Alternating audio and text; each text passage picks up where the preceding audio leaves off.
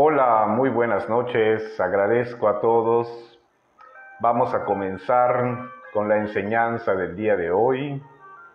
Vamos a esperar unos segundos mientras se conectan nuestros hermanos y hermanas de la fraternidad del santuario del corazón de Amatista. Mientras tanto, aprovecho para agradecer enormemente a nuestros benefactores y benefactoras, las personas que muy amablemente nos envían sus donativos a mi cuenta bancaria de Banco Azteca.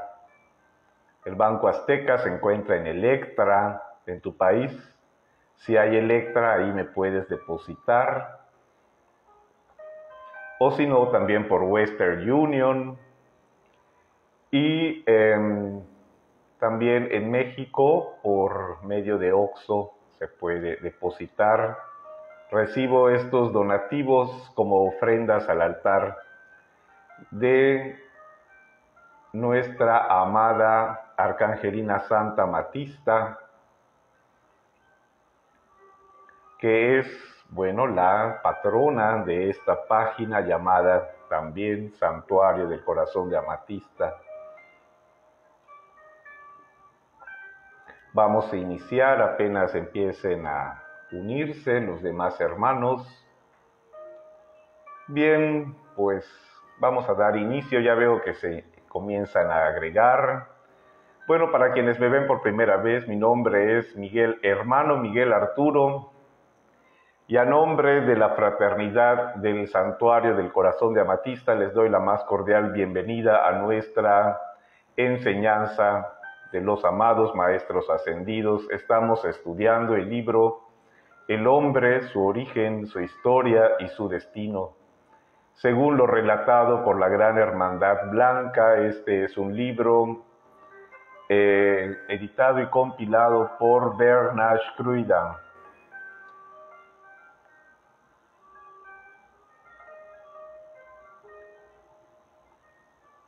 Kruida. Eh, bueno, nos quedamos en el capítulo cuarto, la creación del hombre, la creación de la presencia, I am, yo soy.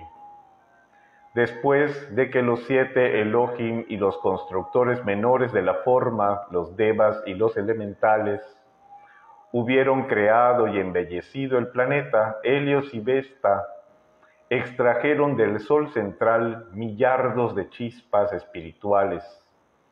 Puede definirse chispa espiritual como una inteligencia primigenia que tiene un cuerpo causal, que es de color blanco y que necesita del amor de un Señor solar, en este caso Helios y Vesta, para su expresión ulterior al mismo tiempo que estas chispas espirituales descansaban durante algún tiempo en la cercanía, los padres dioses proyectaban rayos de luz desde sus corazones y conformaron llamas triples individuales de conciencia divina. Utilizando estas llamas como imanes para atraer la sustancia luz universal, Helios y Vesta crearon entonces vestiduras diseñadas individualmente para las chispas espirituales. A estos cuerpos de luz se les llama cuerpos electrónicos. Una vez que esto se hizo, Helios y Vesta transfirieron cada chispa espiritual al interior de la llama dentro del corazón de un cuerpo electrónico. Esta acción se dio por resultado un ser de fuego blanco, también llamado una presencia electrónica, está consciente de su identidad y a través de las palabras I am, yo soy, se encuentra a sí mismo como una inteligencia viviente y respirante, investida con vida, oportunidad y libre albedrío. El ser de fuego blanco tiene que decidir ahora si proyectará o no el aspecto doble, masculino y femenino, de su naturaleza divina. Quienes escogen seguir avanzando proyectan dos rayos denominados rayos gemelos. Al extremo de cada rayo está una llama triple, alrededor de la cual se atrae sustancia luz, conformando el cuerpo electrónico de la presencia I am yo soy. Estas presencias I am yo soy tienen un cuerpo causal de color blanco. A los individuos que pretenden encarnar en la tierra se les prepara ahora, pasando por el salón de clases llamado viaje a través de las siete esferas. El número siete tiene una importancia adicional. Los individuos que aspiran a encarnar habrán preparado para sí estos cuerpos que incluyen un cuerpo causal, el cual consiste de siete bandas. Serán agrupados en siete razas, raíces, y son siete los rayos que tienen el propósito de acelerar el desarrollo espiritual de estos individuos. Procederemos ahora a explicar estos temas.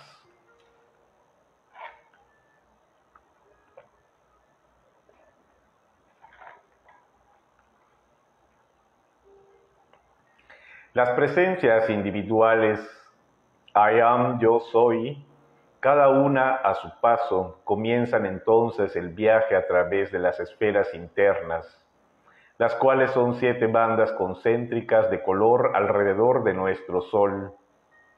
Aquí se hace el contacto con las inteligencias altamente desarrolladas que expresan las cualidades particulares de cada esfera. Estas inteligencias divinas están deseosas de hacer la voluntad del Padre, así como de expandir su reino y su conciencia. Comenzando con la primera esfera, las corrientes de vida individuales o presencias I am, yo soy, tienen la oportunidad de absorber las cualidades de cada esfera, permaneciendo en cada una por un tanto tiempo que les plazca, añadiendo el color de la esfera a sus cuerpos causales a medida que progresan. Típicamente un individuo es atraído a las propiedades de una esfera en particular, prefiriendo permanecer allí más tiempo mientras absorbe sus cualidades. Esta preferencia por una esfera en particular a menudo resulta en la posterior búsqueda, cuando encarna, de una línea de trabajo que se identifica íntimamente con las propiedades preponderantes de esta esfera. Cuando un individuo permanece más tiempo en una esfera y así absorbe sus cualidades más que las de ninguna otra, entonces esta esfera en particular se convierte en su predominante esfera de desarrollo, en alguna otra literatura y uso actual, el término rayo se sustituye por esfera. Por tanto, esfera de desarrollo ahora se convierte en rayo de desarrollo o simplemente él o ella está en el segundo rayo. Si bien las propiedades de una esfera y de un rayo son idénticas, sus funciones son distintas. Un ciclo dura 14.000 años y está compuesto de la vertida de las radiaciones de siete rayos al durar cada uno dos mil años. Por tanto, todos nosotros hemos experimentado muchas veces la influencia benéfica de un rayo, pero solo una vez atravesamos las siete esferas. Las experiencias obtenidas durante la permanencia en una esfera en particular se puede comparar a ir a la escuela antes de encarnar en un planeta. Al igual que en otras experiencias de vida, el libre albedrío está involucrado y la mayoría de los individuos eligen permanecer en una de las siete esferas. Solo uno de cada doce seres de fuego blanco avanza hasta encarnar. Los otros eligen permanecer en algún punto a lo largo del sendero, prefiriendo trabajar allí en los niveles internos. A continuación le presentamos un resumen de los colores y cualidades de cada esfera. Debe hacerse hincapié en que las cualidades divinas de cada rayo son idénticas a las de la esfera. También aparecen las ocupaciones correspondientes que en un individuo podrá tener eh, al encarnar en un tiempo posterior, las cuales expresan las cualidades de ese rayo.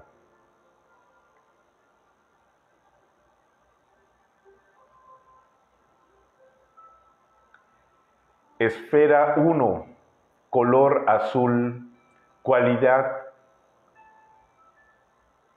es el poder iniciativa, todas las ideas divinas nacen en este rayo, el rayo azul o primero, y su servicio en el planeta puede ser como gobernante o como líderes ejecutivos.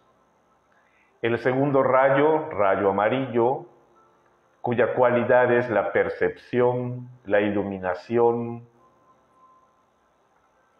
Su servicio en el planeta puede ser como educadores, maestros, y las ideas son percibidas y moldeadas en patrones de pensamiento y forma trabajable.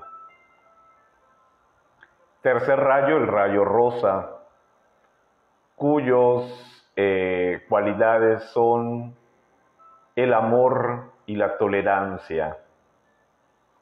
Las ideas son revestidas con esencia de vida a través de la naturaleza emocional, permitiendo la exteriorización futura en el mundo de la forma.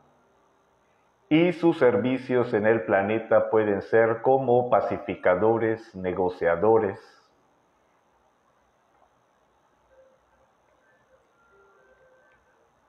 En este, en este rayo se muestra al amor como la fuerza cohesiva que mantiene unida una forma manifiesta. Rayo cuarto, color blanco cristal. Sus cualidades son el desarrollo artístico, la poesía, la escultura, la pintura y la humildad. El servicio en el planeta de este rayo el rayo cuarto pueden ser como artistas, músicos, arquitectos y poetas. Rayo quinto, color verde. Sus cualidades son el desarrollo científico, la sanación, la concentración, la verdad, la consagración, en su servicio pueden ser científicos, ingenieros, inventores, sanadores, médicos, enfermeras. Eh, bueno, el rayo sexto, color rubí, con radiación dorada, o el oro rubí. ¿Cómo cualidades tiene el culto y la devoción? Las personas eh, que sirven en este rayo pueden ser sacerdotes, curas, líderes religiosos o misioneros. El rayo séptimo es el violeta, cualidades, cultura, ceremonial, refinamiento, diplomacia. Como servidores pueden ser diplomáticos o caballeros.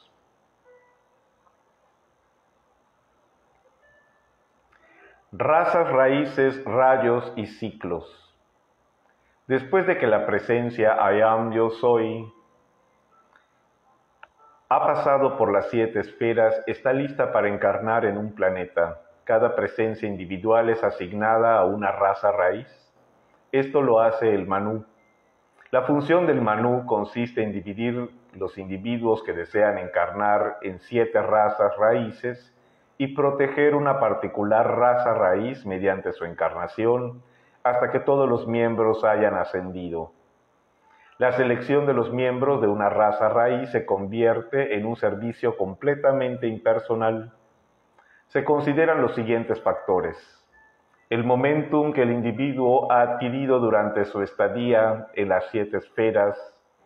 Ese momentum se manifiesta en el cuerpo causal el cuerpo causal tiene siete bandas concéntricas de color y el ancho, el ancho y esplendor de las bandas le indica al manú las cualidades predominantes del individuo. Cuanto mayor sea el ancho de la banda, tanto más ha permanecido el individuo en la esfera que corresponde a esa banda en particular la fecha en que el individuo se graduó de las siete esferas, completando así el salón de clase de la Tierra. Cuanto antes el individuo deje las siete esferas, tanto mayor serán sus probabilidades de ser parte de la primera o segunda raza raíz. las circunstancias y condiciones en las que puede ser utilizado el individuo para mayor bendición de la tierra. A los individuos de la primera esfera, azul, generalmente se les da la oportunidad de encarnar primero, ya que ellos proveen el anclaje y protección para toda la raza raíz. De allí que la primera subraza de una raza raíz consista en su mayoría de individuos que predominantemente expresan las cualidades de la primera esfera. Sin embargo, otros individuos que no son de la primera esfera son incluidos para lograr un equilibrio adicional. Siguen los individuos predominantemente de la, de la segunda esfera y así sucesivamente hasta que hayan encarnado las siete subrazas de una raza raíz en particular. Como parte del proceso de selección, los individuos se alinean en grupos de tres uno de cada grupo de tres es escogido, los otros dos permanecen para una futura consideración. En algún tiempo futuro vuelven a alienarse en grupos de tres. Originalmente tres y medio millardos de corrientes de vida escogieron encarnar en la Tierra. Esta cantidad aumentó dramáticamente después cuando a individuos de otros planetas se les permitió hacer de la tierra su hogar.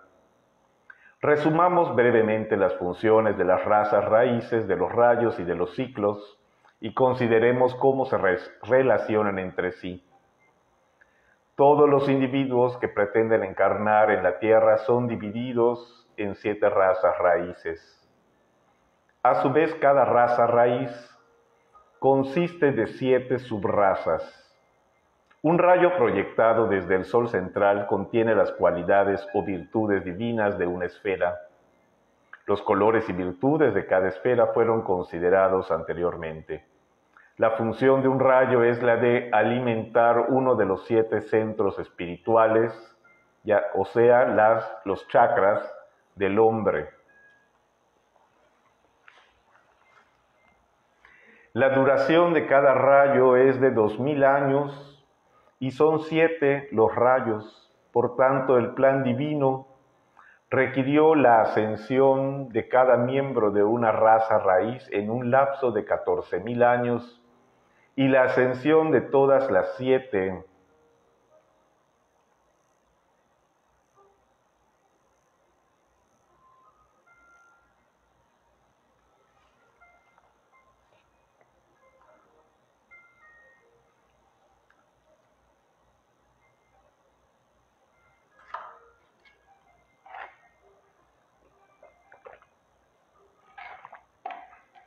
y la ascensión de todas las siete razas raíces en 98 mil años. Todos sabemos que esto no ha pasado. Las condiciones en la Tierra después de la caída del hombre han estado lejos de ser perfectas y millones de seres humanos no han logrado ascender.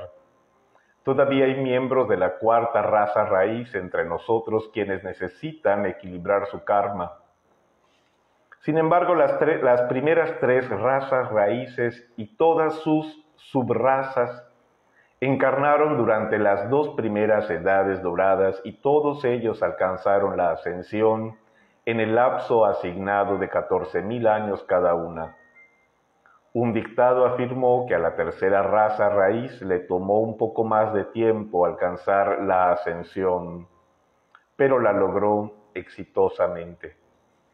La suma de la interacción alternada de cada uno de los siete rayos sobre la Tierra se denomina un ciclo. Por lo tanto, un ciclo dura 14.000 años. Puede considerarse la ascensión tan metódica como la operación de nuestro actual motor de gasolina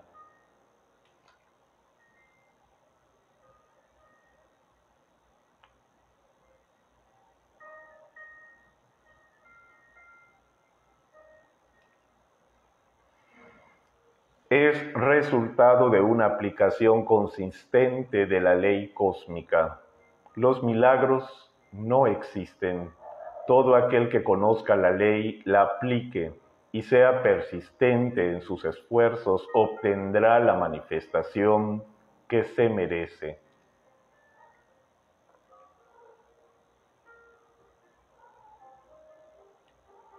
Esto es ampliamente conocido por los millones de corrientes de vida que encarnaron en la Tierra por primera vez, tal cual se presentará más adelante en este libro.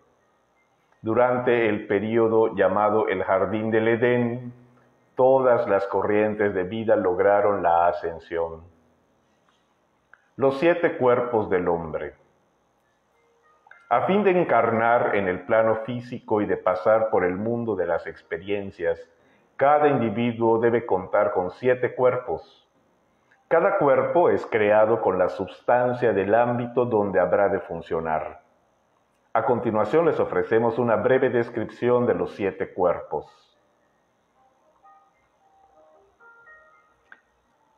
El primero tenemos el cuerpo electrónico de la presencia I am, yo soy, su origen y función ya se describieron antes. Este, este, este cuerpo electrónico de la presencia I am, yo soy, es el verdadero tú y está anclado en el centro del corazón físico. Es refiriéndose a esta creación que la Biblia dice, y creó Dios al hombre a su imagen, a imagen de Dios lo creó. Esto lo dice en el Génesis capítulo primero, versículo 27. El cuerpo electrónico de la presencia I am, yo soy, es Dios en nosotros y solo conoce la perfección.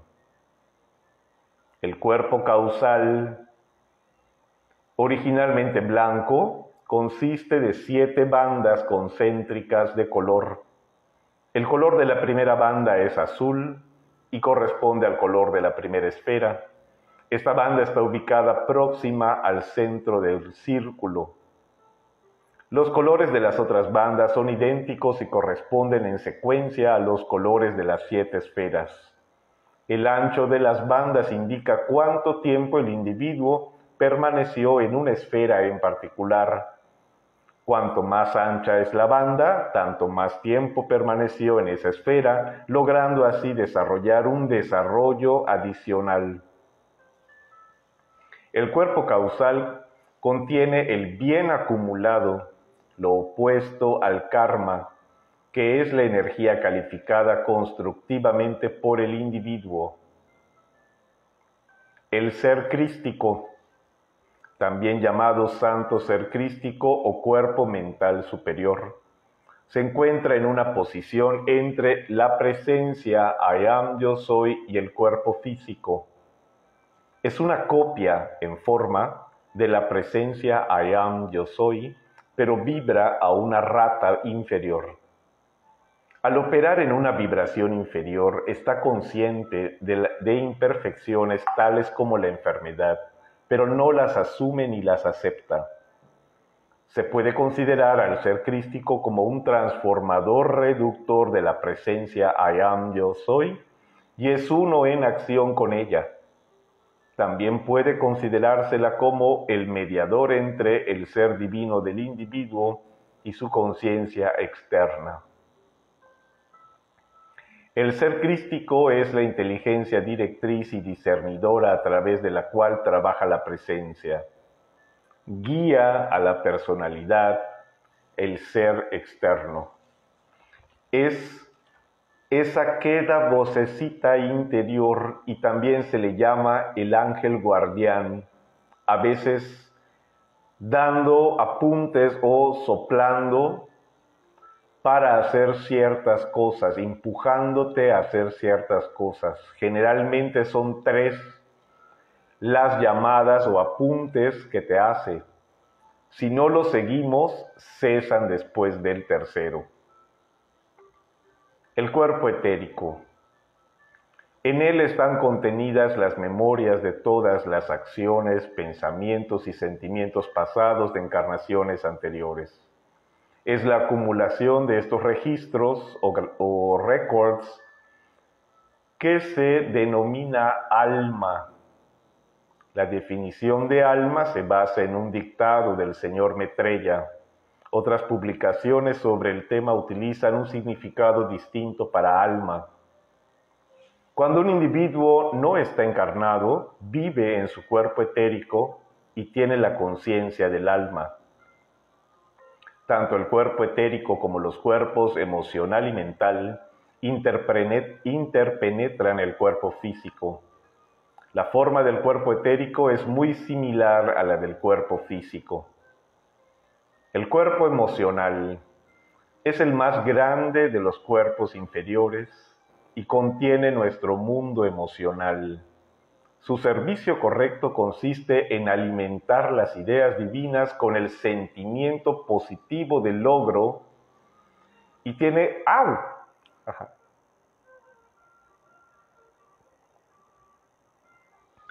Y tiene forma de óvalo y se extiende al menos un metro desde el cuerpo físico.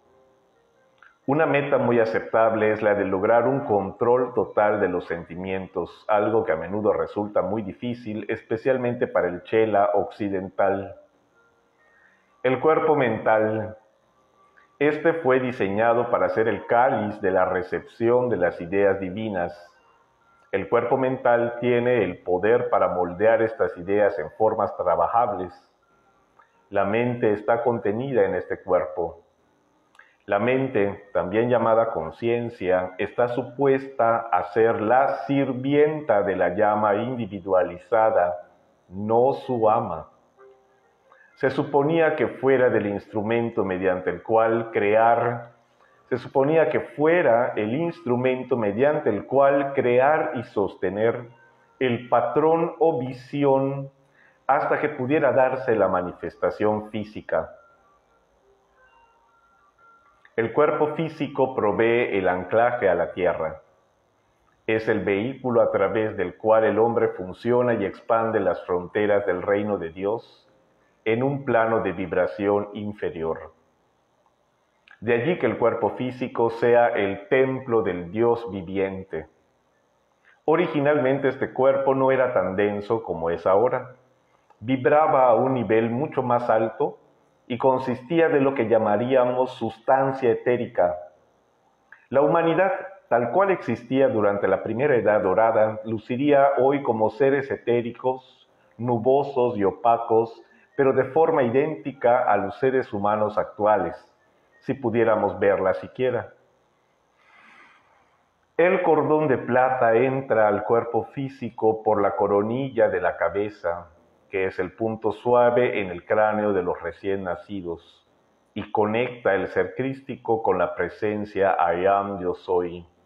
Es la fuente dadora y sostenedora de energía. El cuerpo físico no puede prescindir de esta fuente de fuerza vital sin la cual sobrevendría la llamada muerte. El cerebro es el órgano físico a través del cual funciona la mente. Este registra impresiones del mundo externo. El cerebro es el vehículo de la mente. El sistema nervioso opera como una red de finos cables que son los portadores de mensajes de los impulsos de pensamiento y sentimiento a todas las partes del cuerpo.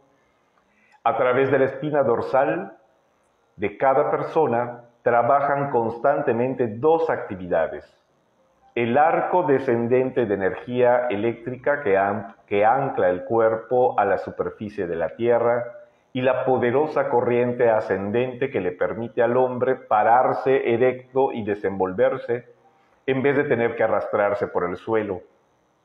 Cuando la actividad de vida se carga con mayor poder en el arco ascendente, llegamos al punto en, que el tirón gravitacional de la Tierra ya no mantiene más a la corriente de vida, haciéndose posible la ascensión.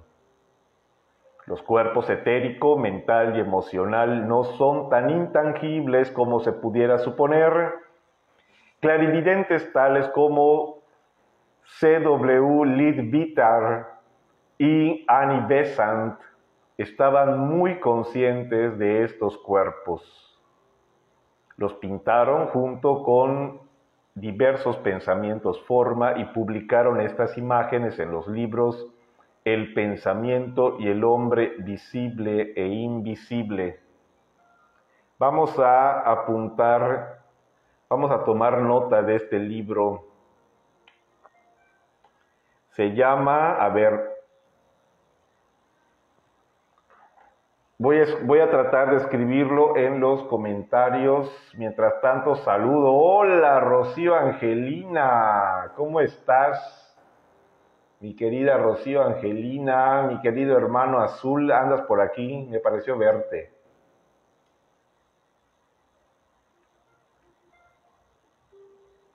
Aquí, aquí va el, ya, ya les escribí el nombre de este libro. Se llama formas de pensamiento y hombre visible e invisible. Son, les voy a escribir el nombre también de los autores.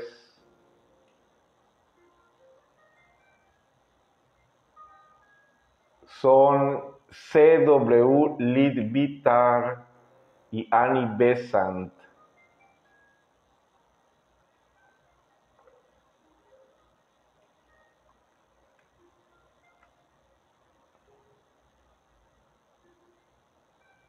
Ok, ahora yo voy a tomar, voy a tomar nota de este, de este libro para, bueno, a ver si también lo podemos estudiar juntos.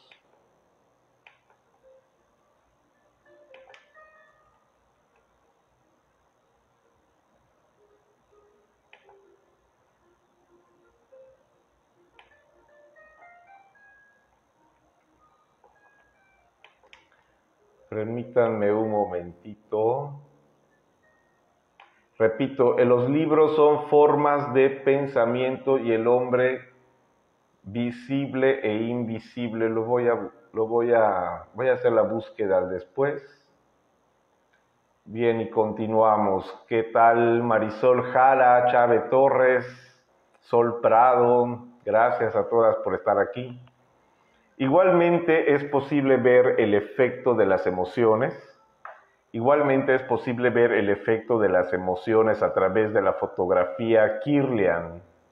Es una demostración, el aura de la punta del dedo de un individuo en paz consigo mismo y el mundo aparecía en azul, mientras que el mismo aura de una persona iracunda lucía de color rojo prendido. En otra prueba, una foto a color realizada mediante fotografía de alta energía mostraba predominante colores, predominantemente colores dorados. El individuo, justo antes de que la foto fuera tomada, había, había pedido guía divina. Yo pude ver los originales de ambas fotos.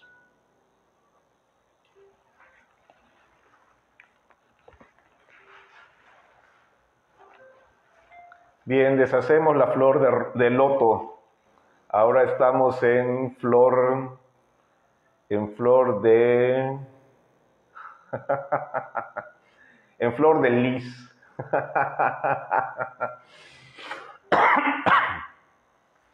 Espíritus guardianes. Justo antes de encarnar, cada corriente de vida escogida por el Manú fue citada a comparecer ante la diosa de la libertad. Allí recibió el siguiente mensaje alentador. Mi amado, estás en libertad de llevar vida primigenia pura al plano de la tierra. Quedas en libertad en el mundo externo o apariencia física para utilizar la vida como tengas a bien Estás en libertad, amado mío, para invocar a cualquiera de nosotros, los seres ascendidos, según te parezca, para asistirte cuando los momentums y la energía de tu mundo no parezcan ser suficientes para manejar las condiciones necesarias para realizar tu plan divino. Luego fueron citados los espíritus guardianes para asistir a estos inocentes quienes habrían de evolucionar sobre la tierra. Los espíritus guardianes son corrientes de vida que ya han pasado por el mismo proceso de evolución, pero en otro planeta. Son corrientes de vida más viejas y desarrolladas. Pueden ser individuos ascendidos o no ascendidos En gratitud por su servicio, Helios los dota con una joya de luz flameante que llevan en la frente. A fin de asumir la encarnación voluntaria en la Tierra, todas las corrientes de vida de otros planetas tienen que someterse a las mismas leyes que se aplican aquí. De ahí que las vestiduras externas de los espíritus guardianes sean idénticas a las de los hijos de la Tierra son de la misma forma y tamaño físico. Algunos espíritus guardianes hicieron el voto de no ascender hasta que toda la humanidad fuera libre. Muchos de estos individuos todavía están con nosotros.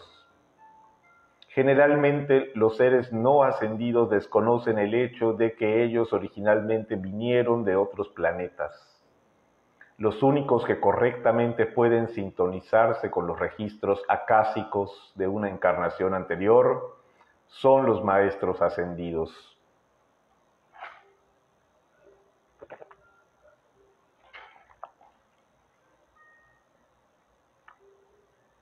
Vamos a volver a leer esto, ¿eh? es muy interesante. Generalmente los seres no ascendidos desconocen el hecho de que ellos originalmente vinieron de otros planetas, ya que los únicos que correctamente pueden sintonizarse con los registros acásicos de una encarnación anterior son los maestros ascendidos. Me parece muy interesante porque yo tuve un compañero en la, en la facultad de, de psicología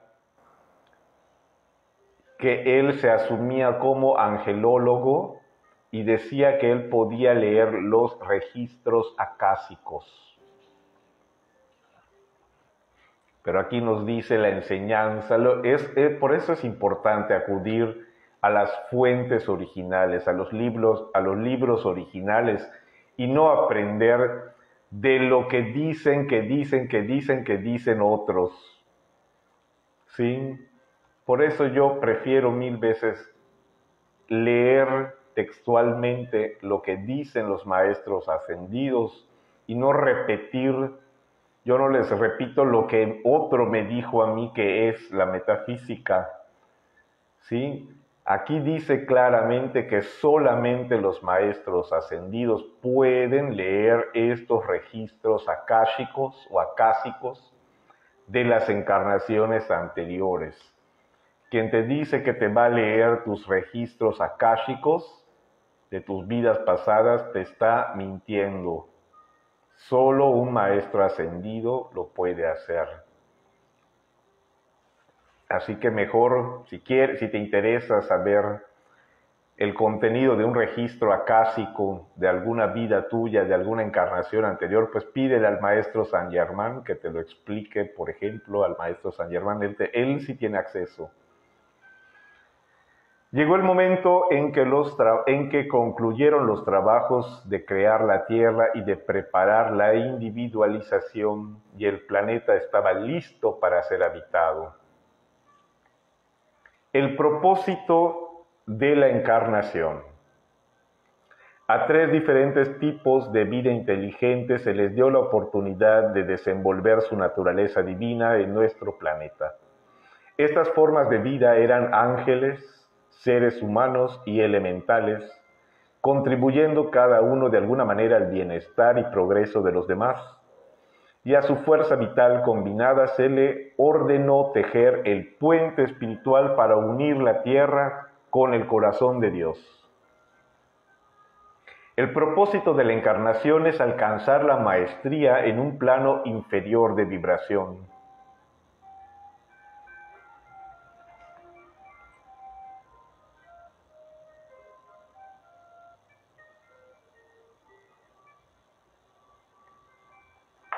El propósito de la encarnación es alcanzar la maestría en un plano inferior de vibración. Así, en la sustancia más densa del plano terrenal, la humanidad aprende a esgrimir los poderes de pensamiento, sentimiento, palabra hablada y acción, y a conscientemente crear como lo hace el Padre. Crear es más difícil en un plano inferior de vibración que en uno superior. De allí que todo individuo que haya tenido esta experiencia adicional y que haya logrado la maestría tiene la oportunidad de progresar más que aquellos que, que escogieron no encarnar. Así que podemos estar felices de haber decidido encarnar los que estamos presentes porque tenemos más oportunidades de lograr la maestría que aquellos que prefirieron quedarse en los mundos internos. Preparación final en la tierra. Antes de que los santos inocentes fueran invitados a la tierra, Amarilis, la diosa de la primavera, en compañía de legiones de ayudantes angélicos y elementales, vistió a la tierra con el ritmo de la primavera en flor y belleza de naturaleza. Los elementales tejieron las más pequeñas flores. El loto fue la primera flor manifestada en la tierra. Los devas de la naturaleza desenvolvieron las hojas de los árboles. A la tonada de la música rítmica de la creación de la naturaleza trabajó en conjunto durante 900 primaveras en este proceso de embellecimiento a fin de adornar la tierra para el descenso del hombre. Allí estaban los ríos, las cascadas, las montañas, los lagos, los océanos, los árboles, los océanos, los árboles, la vegetación exuberante, con su superficie de aspecto de alabastro, la tierra brillaba como una joya. Las primeras dos edades doradas, el jardín del Edén, advenimiento del hombre a la tierra. Después que Amarilis, la diosa de la primavera, completó su tarea. La llama séptuple de los Elohim le señaló al mundo que la tierra estaba lista para ser habitada. Fue el 21 de marzo y el principio del solsticio de primavera cuando Helios y Vesta escogieron bajar a la encarnación la primera subraza de la primera raza raíz. El año no fue estipulado en términos igualmente claros, sin embargo, de la información suministrada por los maestros. Es probable que este evento ocurrió hace aproximadamente cuatro y medio millones de años.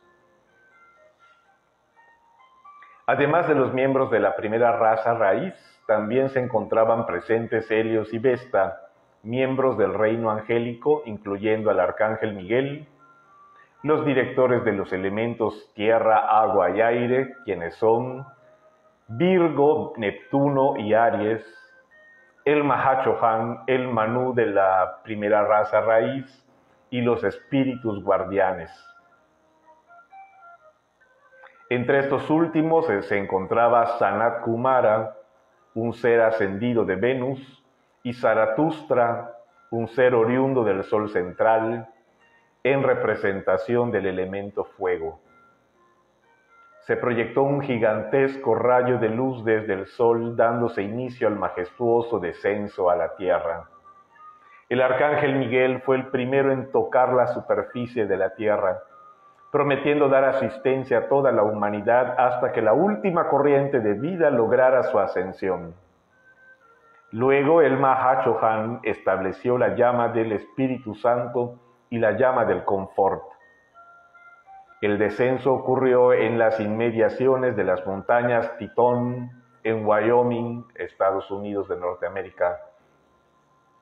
Este retiro de las montañas rocallosas es el más antiguo foco de los maestros ascendidos sobre la tierra. También se le llama templo de la precipitación. Precipitación significa avanzar, y esto se refiere al advenimiento del hombre a la tierra. Desde allí los hombres recién nacidos fueron al norte, al sur, al este y al oeste, llevando la luz de Dios a las cuatro esquinas de la tierra. El hombre en el jardín del Edén. Y vio Dios todo lo que había hecho, y he aquí que era bueno en gran manera. Génesis primera 31.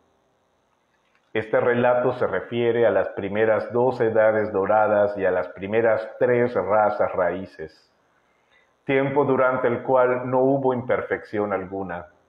La humanidad vivía en el jardín del Edén, significando idón obediencia a la sabiduría divina, la actividad omnisapiente de la conciencia divina. Durante este periodo utilizó energía para crear una vibración discordante. La tierra era tan armoniosa como el cielo. Cada individuo era parte de una gran sinfonía y se mantenía en completa obediencia a su ser crístico y a su presencia, I am, yo soy. Los cuerpos internos de cada uno vibraban en perfecta armonía.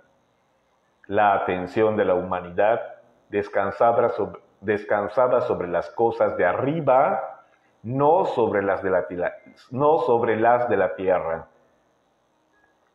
Podríamos preguntar, ¿Cómo era la apariencia del hombre en aquella época? Considerando que las vibraciones de sus vestiduras eran mucho más altas que las de la actualidad, el cuerpo físico del hombre en aquel tiempo era de menor densidad y podría compararse al actual cuerpo etérico, el cual es una sustancia vaporosa. Por tanto, es poco probable que los miembros de las primeras tres razas raíces hayan dejado evidencia fosilizada. Durante esta edad dorada, los cuerpos de los hombres eran luminosos. Hasta donde alcanzaban sus manos había un esplendor autoluminoso visible a la visión externa de todos. El engaño era imposible debido a que el color del esplendor mostraba tanto los pensamientos como los sentimientos. La humanidad lucía en la como en la actualidad luce nuestro ser crístico. En vista de que los electrones brillaban a través de las vestiduras externas, no se requería de iluminación artificial alguna. No se conocían la noche y el día como los experimentamos hoy. La esfera flamígera de pura luz blanca conformaba una armadura natural de protección, dejando por fuera ratas de vibración que no pertenecían a la perfección de la presencia. Los estudiantes de la enseñanza de los maestros ascendidos saben actualmente cómo restablecer esta armadura protectora de luz por medio de los decretos y es lo que hacemos todos los días cuando meditamos, amada y radiante presencia am yo soy, séllame ahora en tu tubo de luz de llama brillante, maestra ascendida, ahora invocada en el nombre de Dios, que mantenga libre mi templo aquí de toda discordia enviada a mí. I am yo soy quien invoca el fuego violeta para que arda y transmute todo deseo persistiendo en nombre de la libertad hasta que ello me una a la llama violeta. Y también la invocación a la armadura de llama azul del arcángel Miguel. Por ejemplo, en momentos de viaje podemos decir San Miguel arriba, San Miguel abajo, San Miguel a la derecha, San Miguel a la izquierda, San Miguel delante, San Miguel detrás, San Miguel, San Miguel, San Miguel donde quiera que voy. I am, yo soy su amor protegiendo aquí. I am, yo soy su amor protegiendo aquí. I am, yo soy su amor protegiendo aquí. Era esta una época en que todos podían ver su propia presencia, I am, yo soy, y caminaban y conversaban con los ángeles y seres ascendidos no había velo entre ellos. Mediante el poder de pensamiento y sentimiento, los hombres diseñaban y precipitaban lo que necesitaban en el momento, tratárase de alimentos, vestiduras, refugio o bellos templos. Mediante el poder del sentimiento, el hombre energizaba los pensamientos forma utilizando, utilizando la sustancia luz universal. Todo lo que se manifestaba era utilizado para el bienestar de todos. Cada hombre, mujer y niño se ocupaba de los asuntos del Padre. Todos estaban interesados únicamente en expandir las fronteras del reino, fusionando en formas las ideas divinas que diariamente pasaban a través del cordón de plata desde la presencia I am, soy de cada individuo a su conciencia externa. Cada corriente de vida era como una fuente, sacando nuevas ideas de la presencia, fundiendo a su alrededor la sustancia elemental, la cual respondía instantáneamente a su llamado, ya que era un co-creador con Dios. Tantas ideas magníficas se vertían en un día que el ser externo no podía realizarlas todas. El ser externo escogía entonces las ideas que representaban la mayor bendición para el universo. Todo lo que el hombre hacía en aquellas primeras eras, lo hacía bien y a gran detalle. A menudo se pasaban muchas horas, meses o hasta una o hasta toda una encarnación esculpiendo una figura o tejiendo una alfombra. Esos fueron días de gran felicidad y belleza y solo existía la perfección en todas las avenidas de la vida, se desconocían la maldición de Caín, verbigracia, trabajar con el sudor de la frente, la desintegración y la muerte.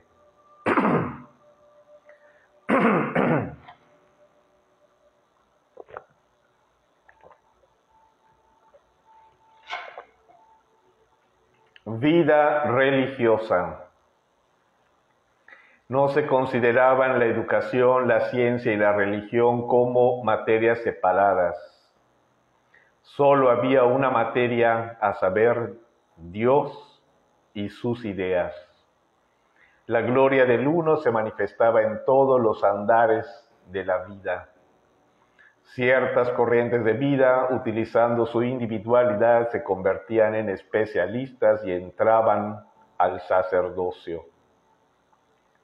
Eran entrenados en templos para convertirse en expertos en precipitación, educación y sanación. Donde quiera que los seres humanos se sentían agotados en cuanto una cualidad u otra, visitaban estos templos y se revitalizaban. El Templo de la Fe Iluminada estaba ubicado cerca de Banff, Alberta, Canadá. Originalmente había sido esculpido en una montaña. El señor Miguel servía allí y su sabio consejo era amorosamente obedecido. La gente venía individualmente y en grupos a absorber la conciencia de fe absoluta en la bondad de Dios. La llama de la liberación se mantenía en el templo de la liberación y servía para acelerar la exteriorización del plan divino del individuo, acelerando así su desarrollo. La llama de la liberación, de color violeta, es una actividad del séptimo rayo. Durante esta época los únicos que podían llevar puesta la amatista eran los sacerdotes de la orden del arcángel Zadkiel, a la cual pertenecemos la fraternidad del santuario del corazón de Amatista.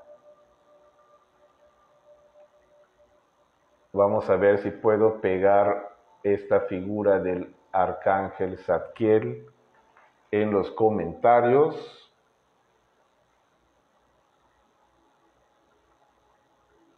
No, no puedo. No se puede. Bueno, ya se las publicaré después. Muy buenas noches.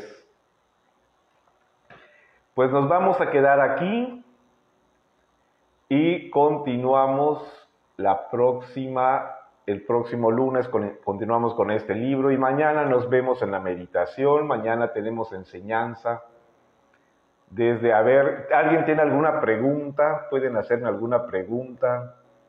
Eh, por supuesto, tenemos todavía unos cinco minutos para responder o alguien quiera comentar algo o hacer alguna pregunta o simplemente saludar. Tenemos unos cinco minutitos antes ya de despedirnos. Buenas noches, María Aguilar, Marlene Figueroa. Muy buenas noches.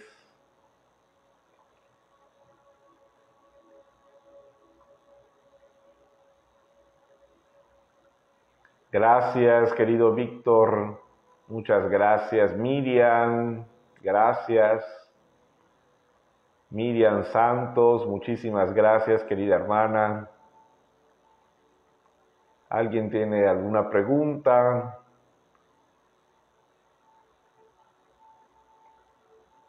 Mi querida Glenda, gracias, querida Marisol.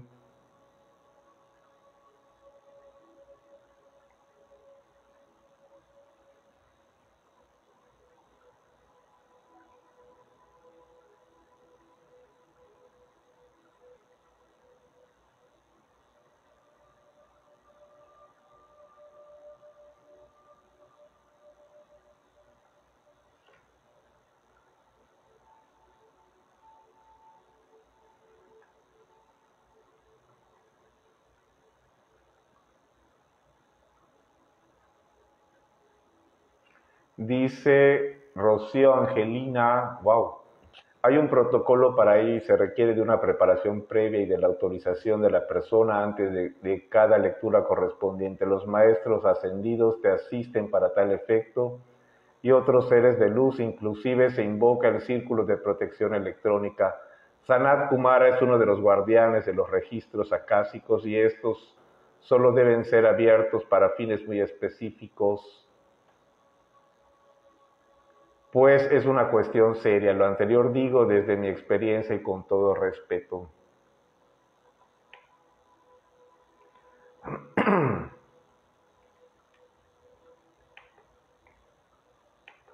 Pues no sé, querida Rocío.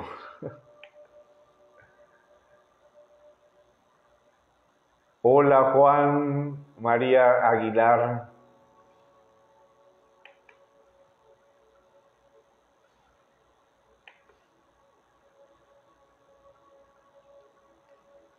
Bueno, pues nos vemos mañana. Un gran abrazo a todos. Gracias, querida Rocío Angelina. y nos vemos mañana en la meditación y también la enseñanza. Saludos, chao.